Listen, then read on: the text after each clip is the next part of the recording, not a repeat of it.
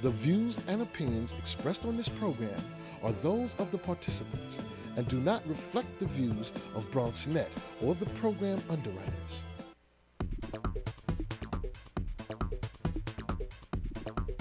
BronxNet. Your voice, your views, your vision. And welcome to the one and only show that opens the Bronx and the rest of the world right to you. I'm your host, John Driver, filling in for Daren Jaime. And of course, you are watching the one and only interactive talk show bringing the best of the Bronx and the world to you. First up, you'll meet one organization that is giving Bronx families one of the most important things you can find in your refrigerator. Plus, no matter how old you are, a local Bronx theater group is giving you a chance to be a celebrity. And he's hoping to take what he learned from his time in prison to teach young people how to avoid the life he once led. Also, we'll go in depth into issues affecting the Hispanic community, including controversy over the census and the growth of Dominican population in the Bronx. Finally, you're going to want to watch the latest season long series at the New York Botanical Gardens. So stay tuned. All this and much more is headed your way because we are now officially open.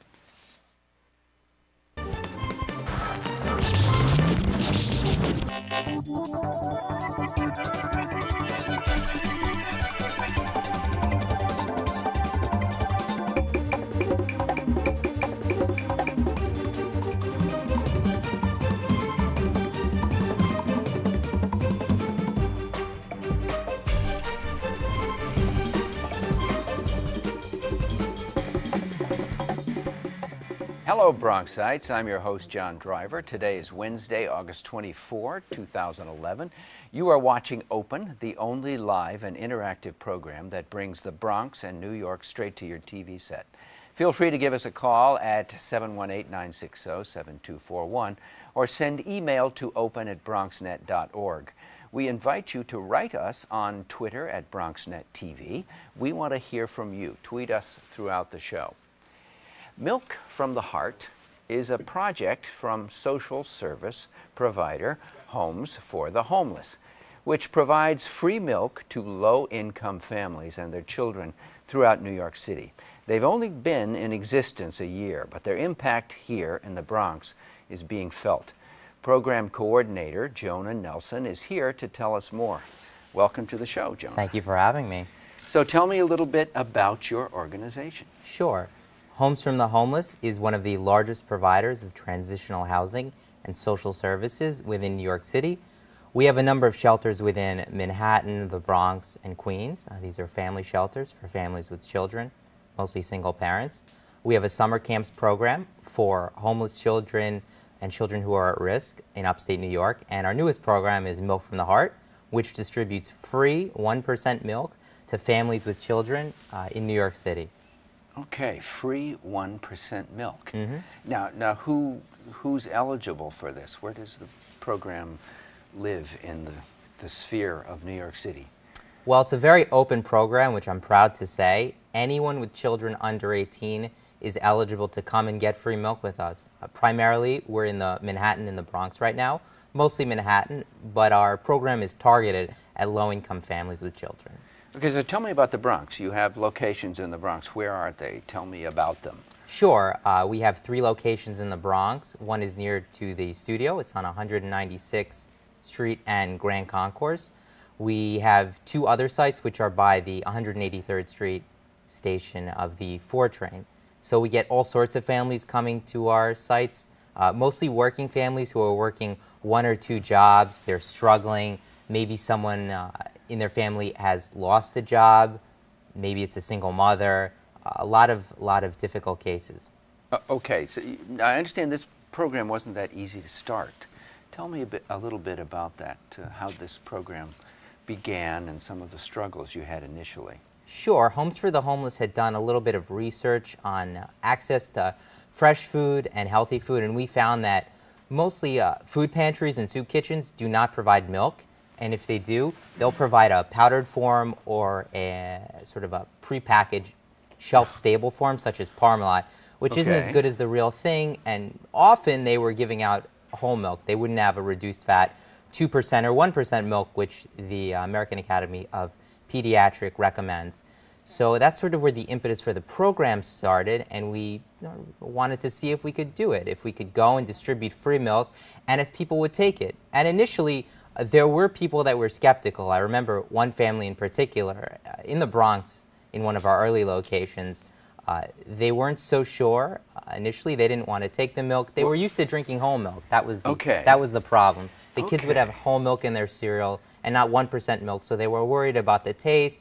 They were worried about if the kids would like it, but they Yeah, were faithful. Let's stick with that a second. Tell me about the 1%. What, why is it important that people know that 1% milk is as good as whole milk or in some cases better? Talk a little bit about that. Well, everyone knows more or less the benefits of milk. Uh, the American Academy of Pediatrics, most mainstream medical organizations, uh, you know, really talk about the uh, positives of milk. Uh, One percent milk is only good.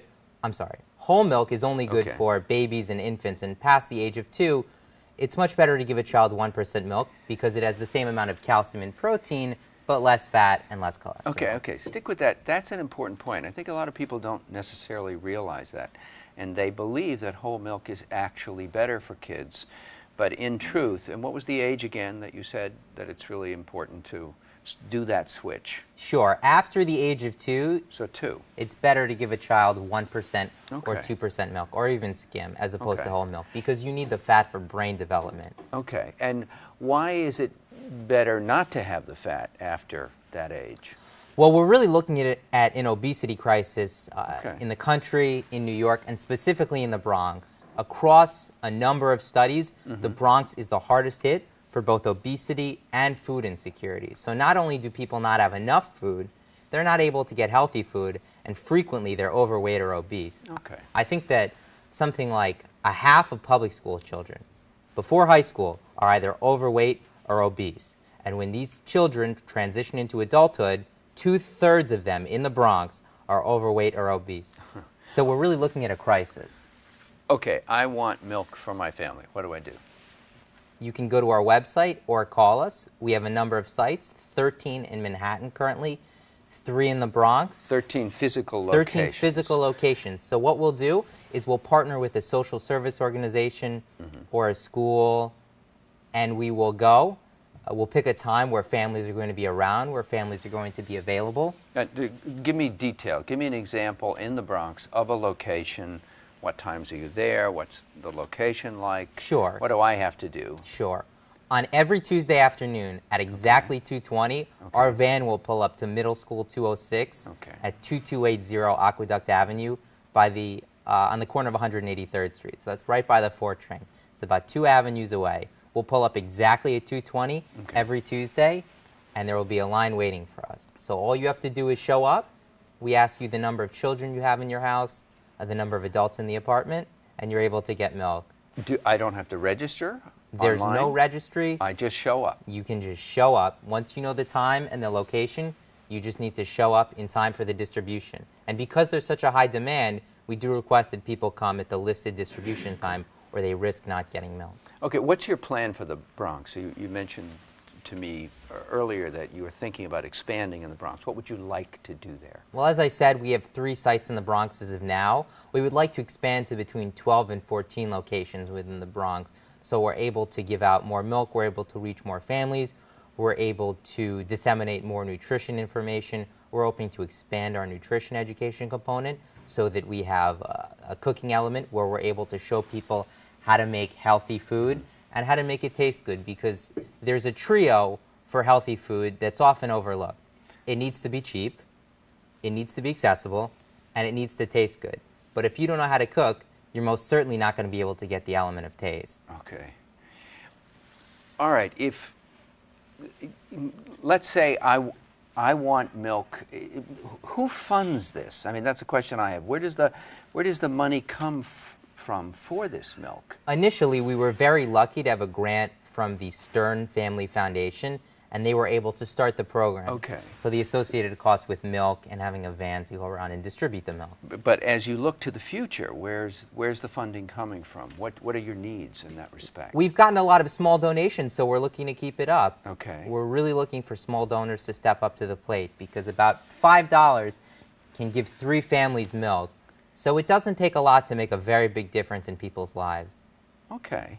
Okay, you, we've got just a few seconds left. What would you like people to do? What would you what do you need them to do? What's your call to action?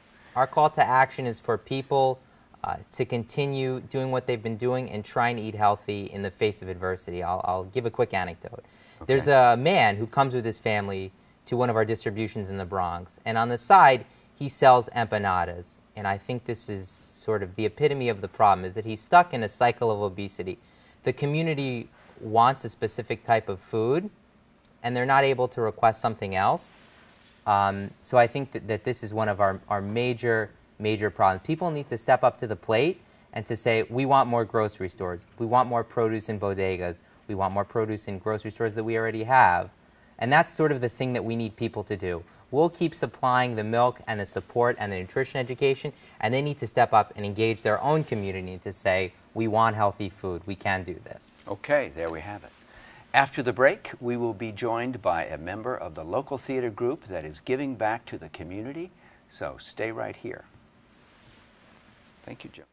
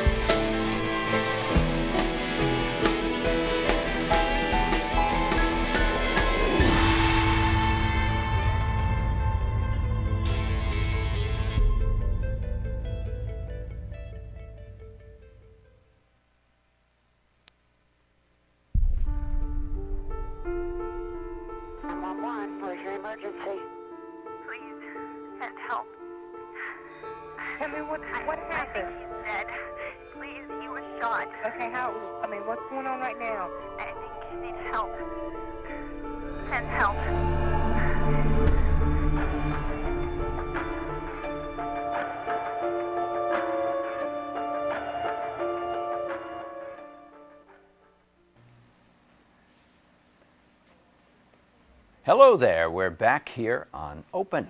At some time in our life, we all want to experience fame, whether it be local or worldwide. And the folks at Local Celebrity Theater want to do just that. They're giving everyone a chance to shine. Participants work with actors to hone their skills, and what sets this organization apart is their work with several national charities. Here to tell us more is founder Chris Manitakis. Hello. Welcome to Open. Thank you very much. So, tell me about your organization. Well, Local Celebrity Theater is a nonprofit uh, company that we had started. Um, I've always been involved in theater, like since I was a kid, and I performed in high school. And Dangerous thing performing in high school. I did it myself. Changed my life. I'll It, it really does. It's, you know, it's a, excuse me, it really is a place where people get to find themselves and grow, and and you make a lot of friends. And for me, it was something that was always a very big deal in high school. You know, we did all the shows, and then you graduate, and it comes to an end, and it's something that you love to do so much, and then. And then what? You know, either you could try to make it at a professional level, or there really is not many opportunities for you to continue you know, doing something that you love. So, from when I was about 17, which is years ago, um, you know, I wanted to start some type of an organization that you know would let us perform, but we didn't really have the resources, and I didn't really have the connections to make it happen. Um, you know, and I, I felt it'd be a little selfish just to start a group for the sake of I want to perform. You know, Okay. like that really. Okay. It, I just thought it was selfish. So uh, I came up with this idea. I, I just feel like that we're in a very negative time. There's a lot of negativity out there, and there needs to be more positive things for people to do. Um, and I feel like you know helping other people is kind of a lost art right now. You know, so I, I thought coupling a, a theater group, which you know we get casts of like 50 or so people for some of our shows, Big coupling cast. that along with you know some type of charity would encourage those people to get involved in some charity work and maybe you know branch out from there maybe get their family involved or their friends you know to do more positive things so that's where the the idea came from for this group Okay, so I want to join your company. What do I do? I want to be a star. Make me a star. Come Make on. you a I want to be a star. You could go What do I on do? You want me to, to sing, uh, dance? Do I have to act? What do I you have could to do a bit right here if you like you could audition right now um, Okay, I'll, I'll get back to that later. I like that idea a lot. Okay. We have um, we have open auditions for all of our performances. We really encourage anyone to come out, different age groups. It doesn't matter your level of experience. Um, our motto is entertain, educate, and inspire.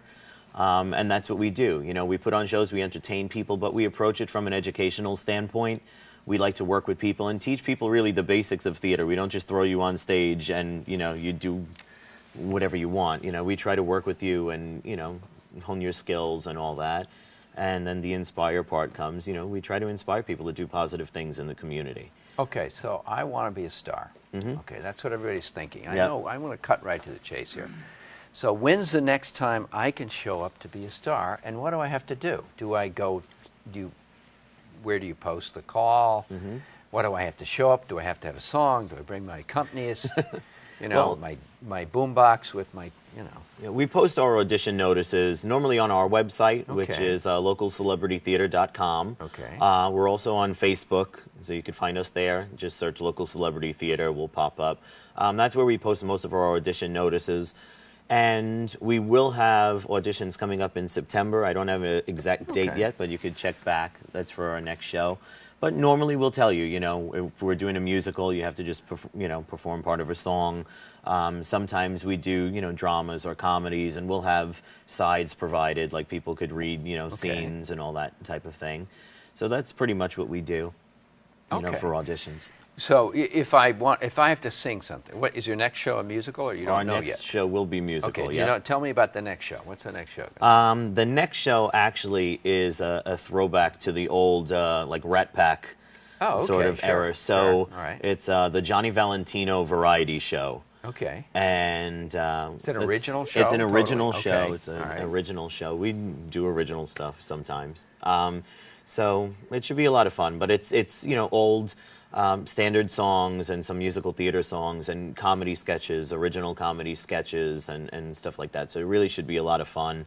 And that's going to be probably a, a teen through you know as old as as possible kind of show. And how big's the cast? Uh, the cast for that, I would like ideally between 60 to 70 people.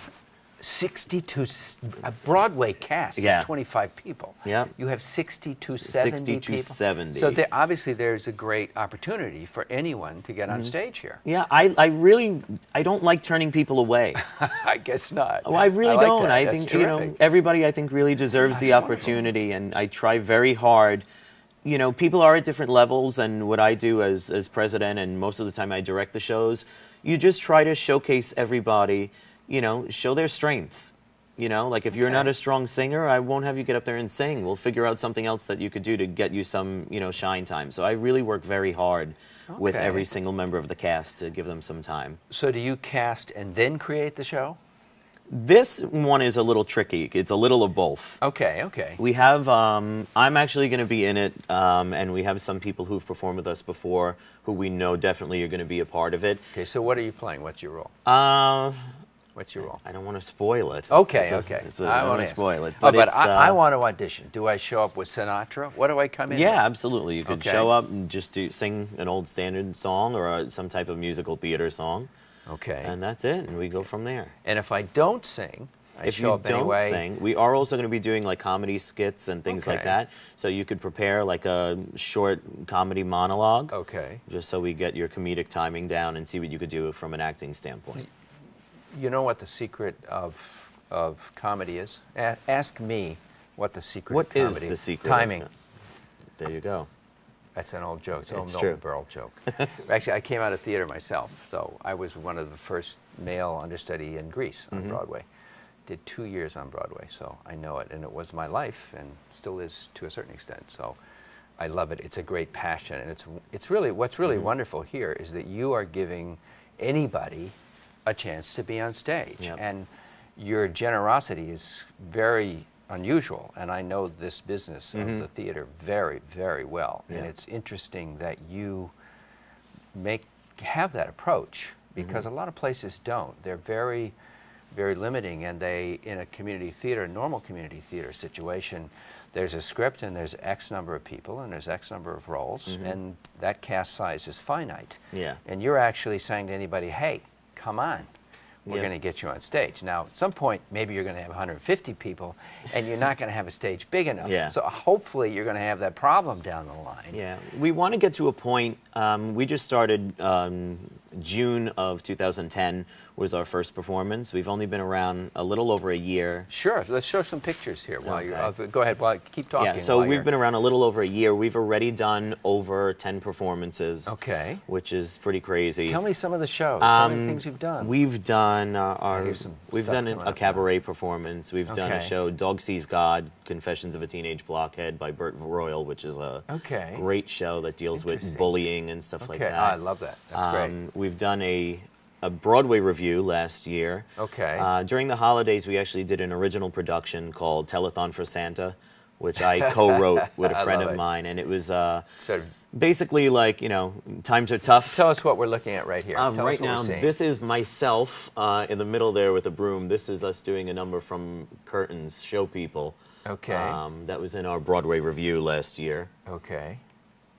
Okay. Keep yeah. Keep, roll some more pictures if you've got them, and we'll yeah. Tell Um, us this is the, this. this is maybe one third of the cast for Telethon for Santa. We had Big about cast. 70 people in that show. It was insane. Uh, Everybody looks so- like they're having a lot of It fun. was such a great time. It really was, and you know, to have everybody together during the holidays, a lot of old friends, and you know, people brought Sure. you know family members to be a part of the cast. So it was really cool to have everybody all together for that.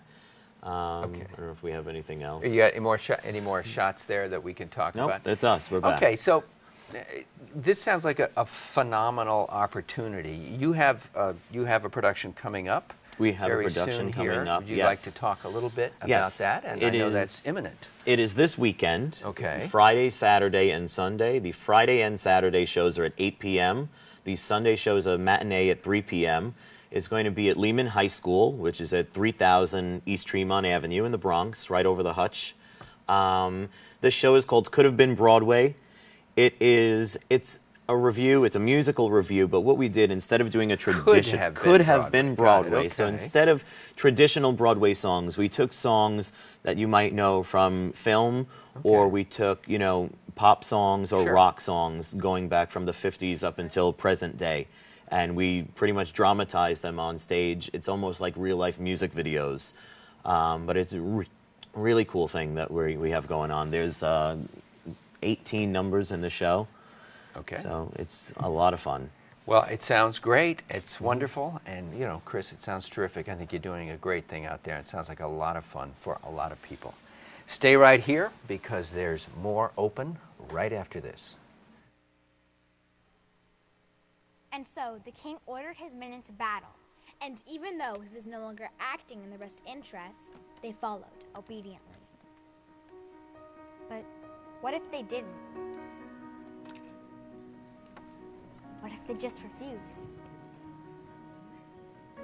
What if selfish leaders got no support?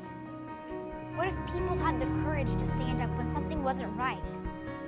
What if the government didn't just serve a lucky few? What if it was designed and run for all the people, no matter what race, color, or creed? What if we didn't put up with anything less? What if?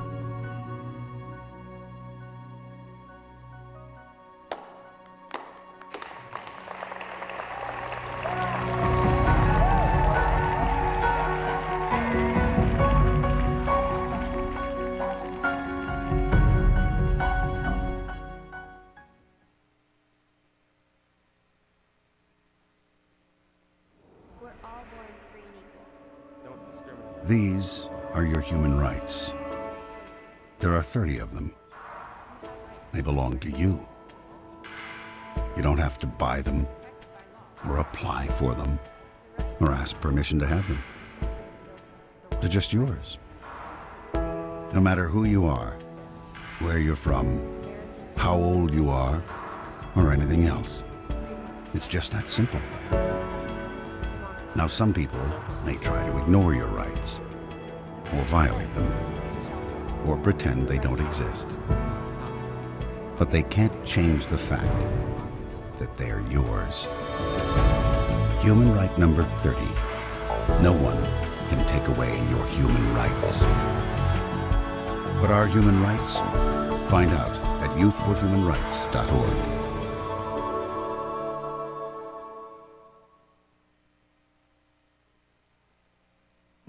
Okay, showed you. Yeah. Now push in the clutch and gently shift it into first I, gear. I remember. Okay. Ah. Okay. That was good. Honey, look this way. Look this way. You're doing, honey, hit the gas a little more. Hit the gas. Oh. No, no, no. Honey, put your hands on the wheel. Hey, honey, it's okay. You're doing great. You're driving. And why don't you just pull over brake? That's perfect. Brake, brake, brake, brake.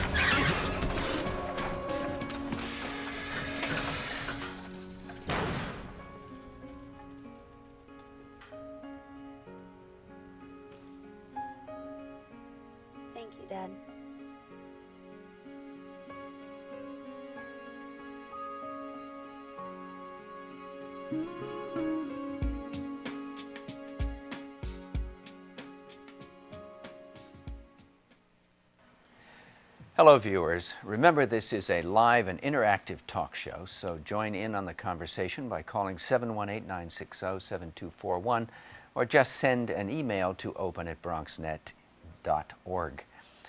When our next guest was 17, he was sent to prison for killing another teen during a fight. He spent 16 years in prison. During this time, he turned his life around by taking part in several programs, and today he is a youth counselor at the Fortune Society, an organization that helps former incarcerated men and women re-enter society. Mr. Roberto Rodriguez, welcome to the show. Pleasure to have you. Thank you. So, you've gone through a lot of tough things in your life already, haven't you? Yes, unfortunately. Okay.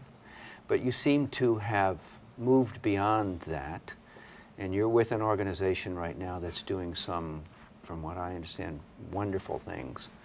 Would you like to talk a bit about that organization? Absolutely. Um, Fortune Society is a nonprofit org who caters to um, the formerly incarcerated and individuals who may have any infraction with the law of felony level offense. And rather than then having to be sent to prison, they will be mandated to attend prevention programs at Fortune Society that will eventually give them skills and tools that they may need in order to maintain a free, uh, crime-free life. Okay. So, so this is an alternative. Uh, Right. I, Turn to incarceration. let's say I had committed a crime, I might have an opportunity to work with your organization instead of being incarcerated, instead of spending time in prison. Right. Not so much work as well. There are internships, but it's more or less having to um, get into a program that more or less is catered towards the offense. For example, you may um, have been arrested for um, a crime of substance abuse, or you may have been um, had anger issues. So Fortune Society offers a various of programs that will address issues sort of that nature. Okay, give me a specific example, and with a specific Mhm. crime, and and do you have, a, can you give us, uh without mentioning names, a- an example of someone who's worked with your program? Well, you had uh, the I'm part of the the wellness program. It's an enhancement program. Okay. That's um, in conjunction with the substance abuse treatment and the Better Living Center, which is a licensed mental health clinic at Fortune. And what I do as a wellness navigator and case manager is that the clients that I serve are more or less are either youth or an adult or female or male gender. And for in my, in my instances, they have individuals who may have already um, had an experience, like you know, preventing, trying to prevent having to face time. So more or less, when I engage them, I sort of like speak to them and sort of encourage them not to choose that path because there's nothing that's you know there's a lot at stake for them. Okay, let, let, let me, I, I want to try to work through this clearly. Right. I, my, say my name is Joe, hmm and I commit a crime. Give me the crime that I committed. Tell well, me that. it What could crime? range from Pick from, one. Pick a- uh, a specific. posse- um, possession of um, paraphernalia. Okay, suppose I have possession of drug Right. paraphernalia. I'm convicted of that crime. Right. Okay. The judge says, you work with this organization. Joe, I go to you. Okay, tell me, tell me what happens Right. when I go to you. What- What do you do? In What many you instances, do my, me? that's not my role. Okay. Um, Fortune Society has court advocates. Okay. Um, staff that's stationed in each five boroughs, and what they do is, as the the judge is reading out the cases to the um, to the um, defendants. Okay. The court advocate will impose and recommend that the, the client, rather than having to face time, he'll be referred to Fortune Okay. to attend prevention programs. So I attend your program. Right. What what happens at the program? Well, at the program, they are um, mandated to um, attend at least 20 hours Okay. of any type of prevention program. It's five days a week, Okay. and it could be up from six months to up to a year, depending on the participant's progress. Okay. So if they comply, they'll more likely avoid having to be sent to prison. Okay. If I don't show up, what happens? Right. Well, you have to. It'll be reported to the to the court. Okay. The judge will be notified immediately, and he will more than likely will be remanded. Sure. Okay. So how do you judge my progress? I'm Joe. I was convicted of this. I am in your program. How do you determine that I am making progress? What are the, what's your evaluation procedure? Well, it- it's a team effort. Um, like in, for instance, in my case, in my position, I work in conjunction with the primary counselor, Okay. which is the um, the substance abuse counselor, and more or less what we do is we we um we try to address the needs that the client may come in with. For example, a lot of men and women who are re-entering society, a lot of them are not um they may not have a primary care physician, a psychiatrist. They may not have no source of income. So my role as a wellness navigator and case manager is to address issues as that by trying to um, link them. It's a linkage of care. So what I do is I have the resources at my fingertips as I meet with them, and we tailor out what's the most immediate needs that they may have in order to be successful, and we address those needs accordingly. So this is a wonderful program for the right person. Obviously, it's a great alternative. Right. And quickly, who are the kinds of people that should you take advantage of the services of Fortune? Well, I would say anyone who's trying to better themselves, Okay. anyone who's trying to prevent having to choose that, that life of crime, if they really want to, um, you know, become equipped with the skills and tools that they may need, I, was, I would recommend Fortune Society because Fortune Society embraces each client as they come in. And I would like to paraphrase um, our president of Fortune Society, Ms. Joanne Page, how she often states, um, treat each individual that walks in through Fortune's door like if they were one of a family member that was coming in to seek services. And that's sort of the mindset that we have collectively. Okay. Great. We have about two minutes left. We, we, were talking earlier, and you mentioned that you had some things personally, based on your experience, right. that you would like to share with the youth of the Bronx and others in the Bronx. And I thought Absolutely. this could be a, a good time to do that. Well, um, my advice to the youth in the community is, you know, take heed to um, the advice that your parents and loved ones and those significant others are in your life. Take heed to what they, the advice that they give you. Um, do not choose your friends over your family because at the end of the day, your family is the ones that's gonna st stick through you.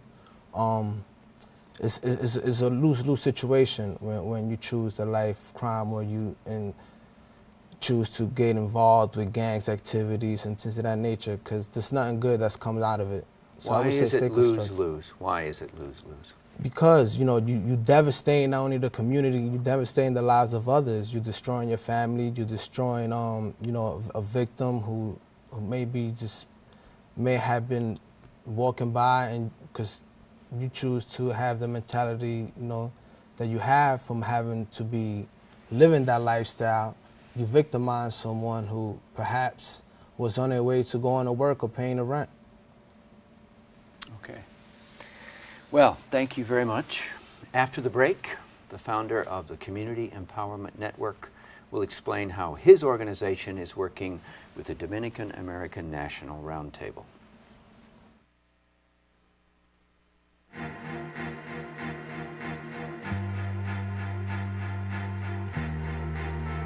Coming home can be hard if you're a veteran of Iraq or Afghanistan. You may feel like you're all alone.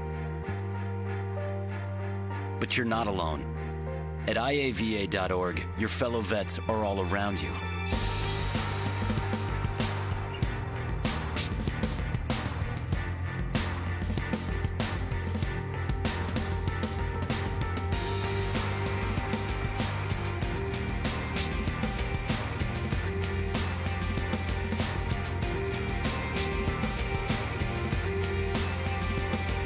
Join our free online community, get the resources you need, and connect to other vets who know where you're coming from.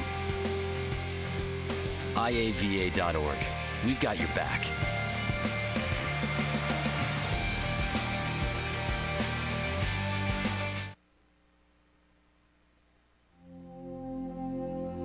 Can you tell which of these children was not born free?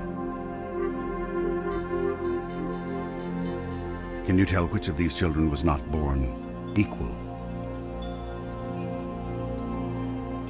Can you tell which of these children does not deserve to be treated with dignity?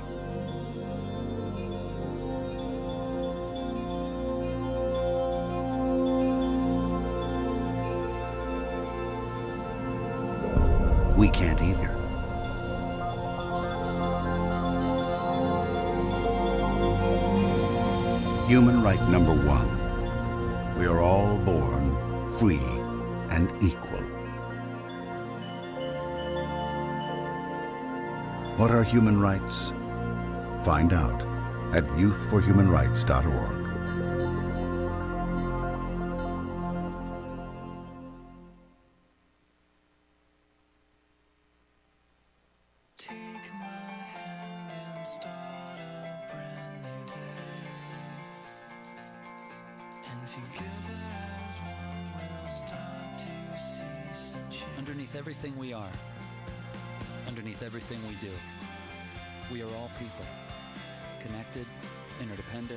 united.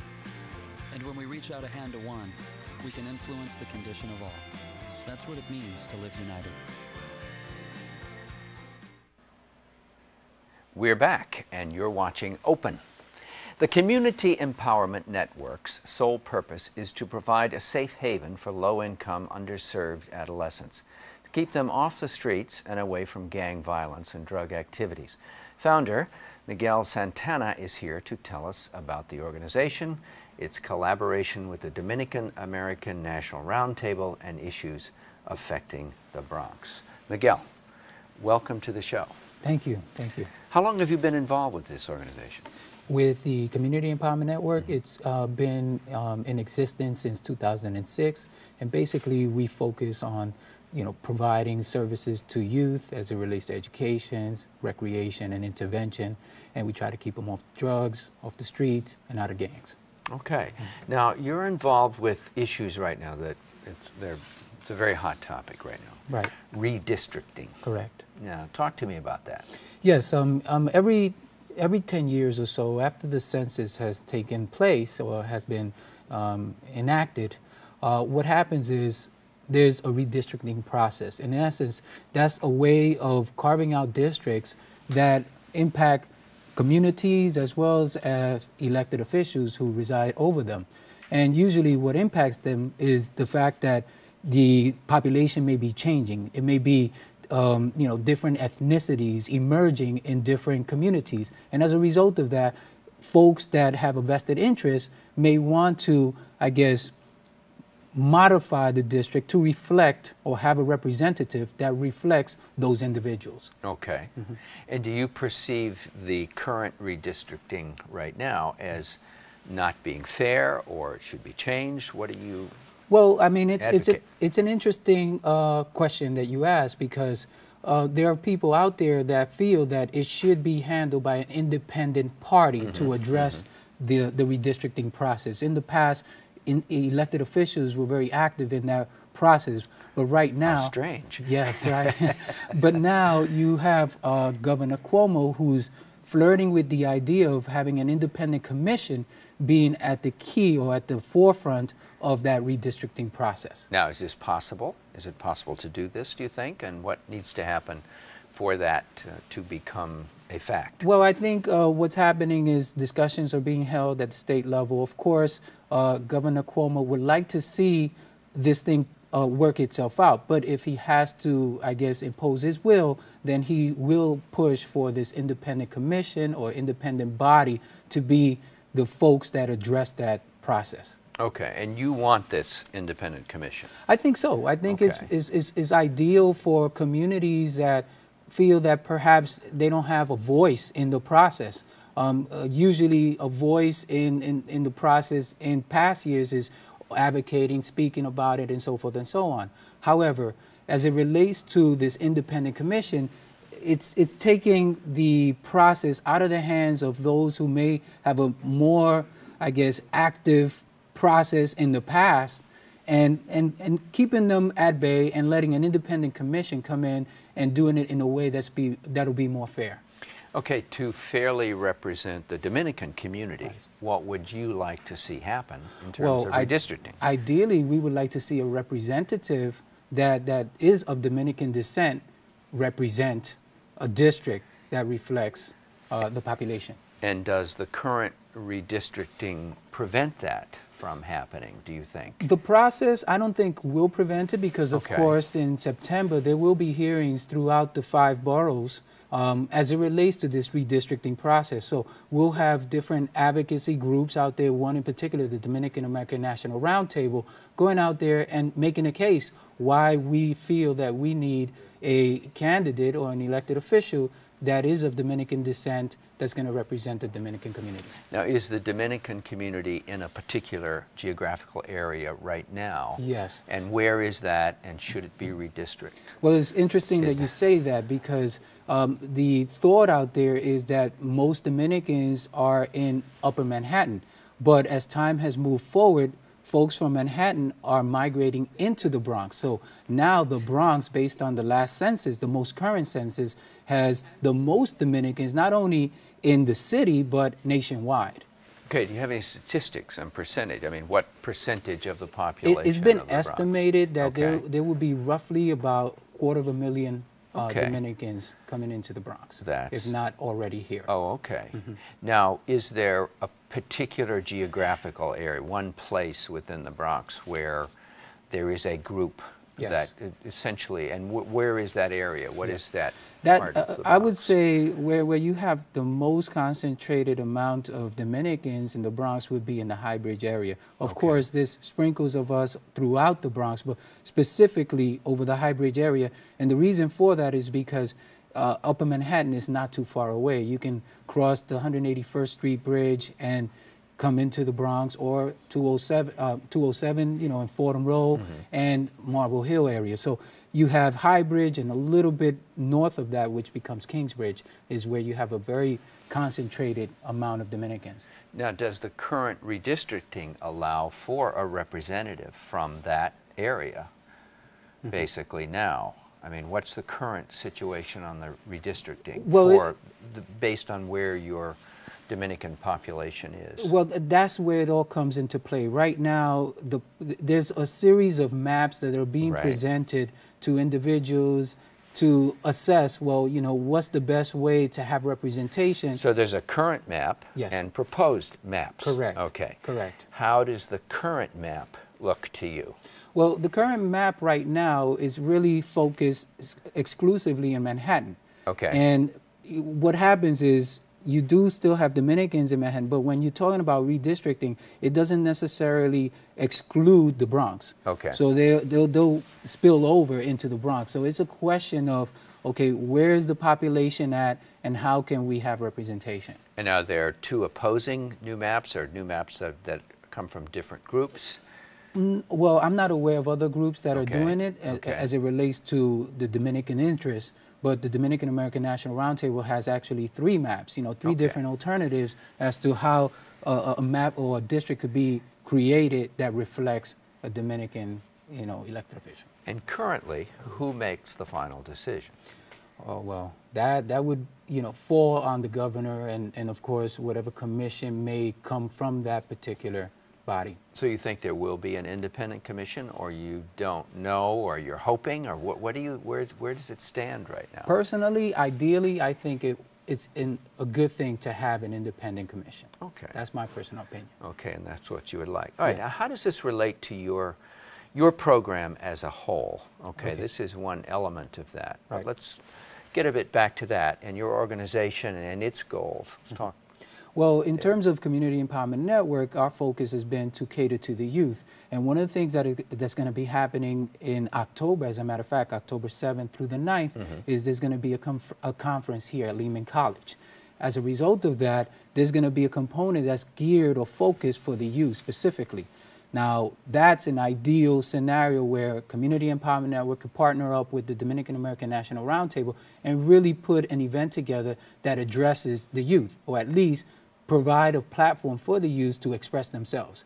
So that's something that we're truly, you know, excited about. You know, we're looking forward to really seeing how that evolves. Right now, we're meeting with youth. As- a matter of fact, today I'll be meeting with some of the student youth, which represent Lehman, BCC, Hostos Community College, College, and others, and we're trying to engage them in that process to to create an event that reflects their interest, that will resonate among their youth, you know, their age category, and we're serving as a facilitator in that process. Okay. So when will people know about this, and when will the information about it be out there? Well, the information is out there on Facebook right now. Okay. If folks search 2001 Dominican American National Roundtable Youth Showcase, they will be able to find the page. Um, if they go to the website, danr.org, they will be able to find this information. So it's out there right now. Of course, we're still promoting it. We're still about a month away from the event, so word of mouth is very effective. Of course, the students themselves are reaching out to their, their student bodies, their student government associations, and that's the way that we're getting the word out. How can people get involved in this process right now to shape that event?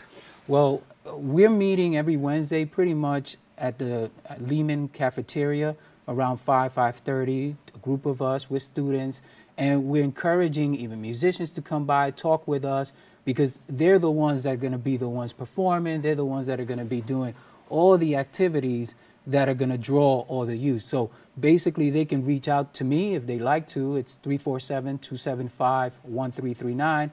And of course, they can come and meet with us. And the event itself, give me just a, a few seconds of what the event will be like. The event specifically to the youth or the overall conference? The overall, the, well, the, the, the event as it happens, that whatever that event will be. Well, basically, you're going to have youth coming out there performing, singing, dancing, uh, playing instruments. You'll have different groups that are musicians and they're going to perform and they're going to do comedy, they're going to do spoken word. Okay. These are all their ideas. This is something that is relevant to them. Okay, all right. Open is going out into the open to give you a look at the New York Botanical Gardens' latest season long series.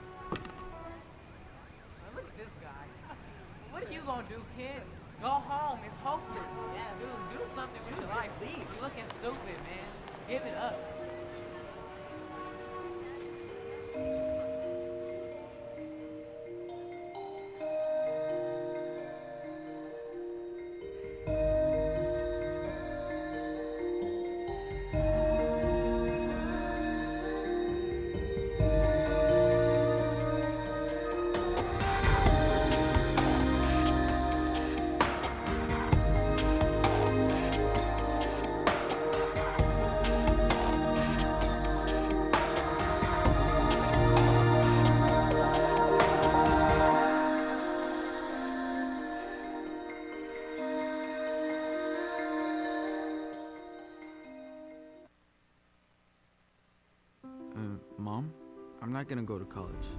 What are you saying? You've got to go to college. Well, they offered me a job, and Son, college is much more important. no, Yes. no, Mom. Yes. Anyways, it's my decision. Okay, well then decide what degree you're going to get because you will go to college. Their tomorrow depends on your words today. The Hispanic Scholarship Fund has the information you need to help your kids go to college. Did you find the flashlight and the batteries? Yes. Did you make sure we're not missing anything in the first aid kit? Yep. Did you go through the plan with the kids again? Yes. The more you prepare today, the more you'll be able to reduce the devastating effects of a tornado, an earthquake, a power outage, or any other disaster.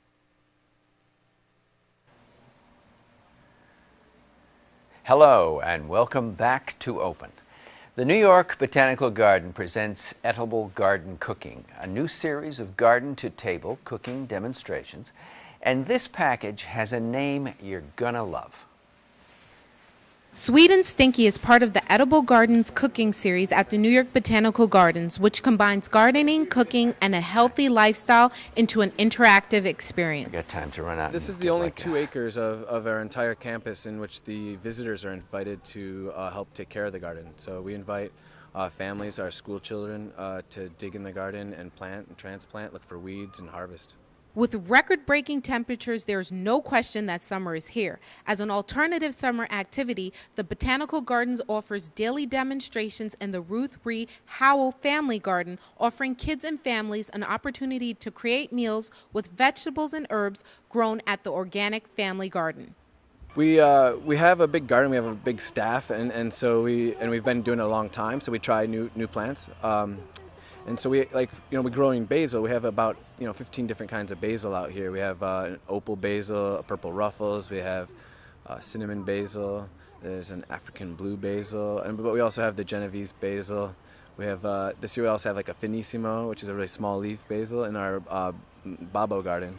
Uh, and then we have Most Rosa, which is a great big basil. So you know those kind of things you'll come across with just different varieties that you wouldn't tend to see in, in a supermarket. And because this month we're celebrating celebrating sweet and stinky aromatic herbs and culinary alliums, we're visiting the onion patch to pick a couple different kinds actually to make caramelized onions and teach people about some kitchen chemistry.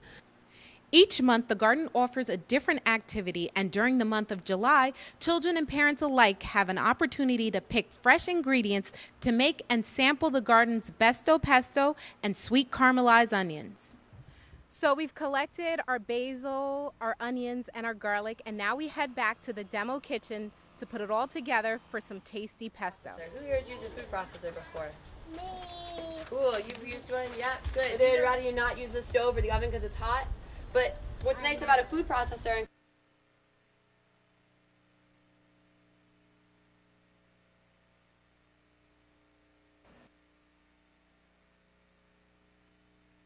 cooking with a food processor with kids is that everything dangerous is on the inside. So you're good to go. Who's ever had caramel candy or caramel apples? What color is the caramel? Brown. Brown, yeah, it's brown.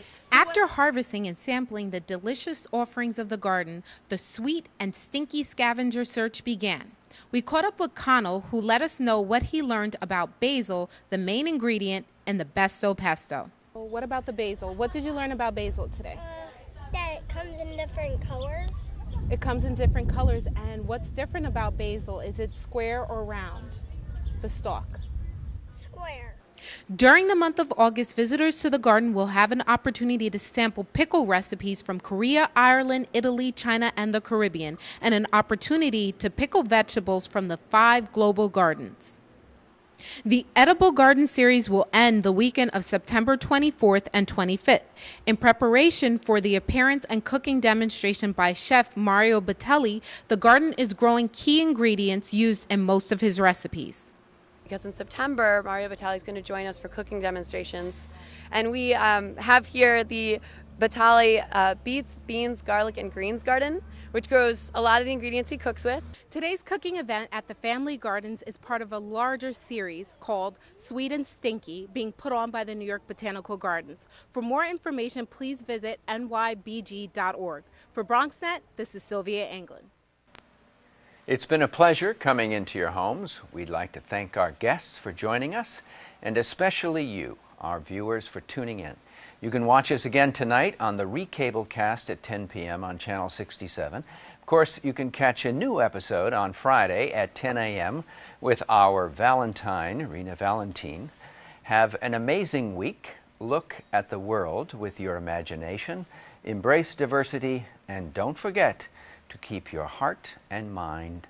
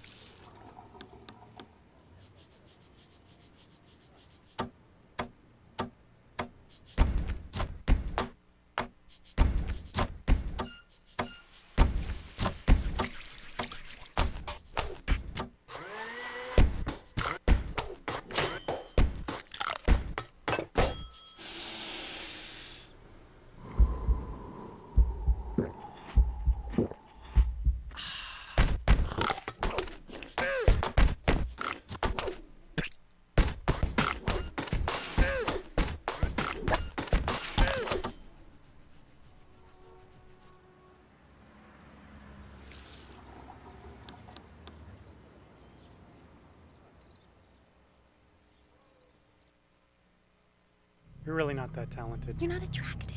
Too fat. You're too short. Too old? Why don't you just give up? Give up. Give up. Just give up.